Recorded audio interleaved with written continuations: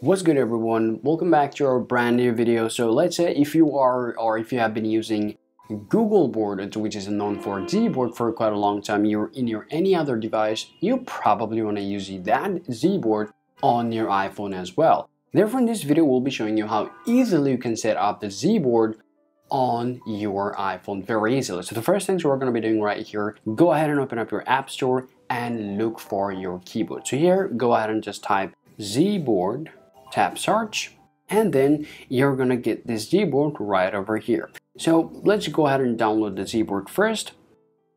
Tap install. Well, if it's prompts for the password, go ahead and enter the password to download it.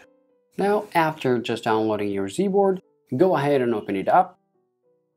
Now, it is giving you all this visual effect which you probably can use on the Gboard right here.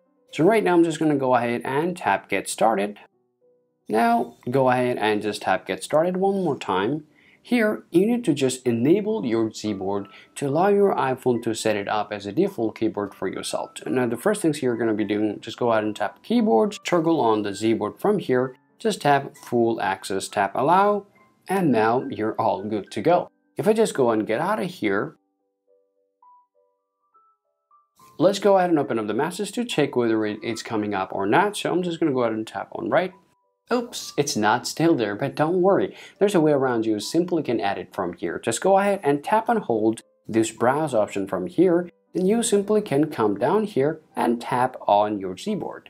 And there you go. Go ahead and tap got it and now you can see your Gboard now set it up on your iPhone as a default keyboard. From now on you actually can use your Gboard to do whatever you want and that is for it now. Alright, now let's go ahead and talk a little about that Google keyboard right here. There's a bunch of things that you guys can do. Let's go ahead and talk about it. The first things you can do actually, if you just go ahead and tap on the Google icon right here, it will give you some different options as you can search anything you want on the Google. You can also translate any language if you want. You also can search anything on YouTube and also maps and contact as well. And another things that you guys can do from here, you actually can send a tremendous amount of emojis just by tapping up on the settings and then tap emojis. You actually can send a bunch of emojis that you guys want to send anybody that you literally want. So there are bunch of categories right down here. You simply can use them as well. And this is how you actually can use your Gboard on your iPhone.